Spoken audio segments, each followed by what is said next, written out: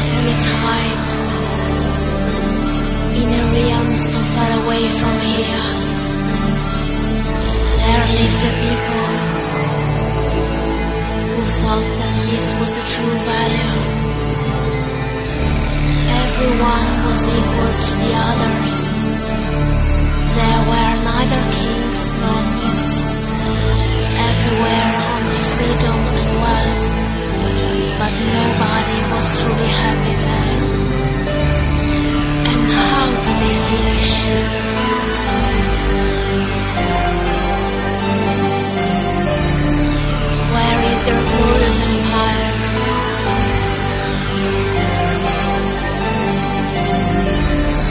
Is under your sight.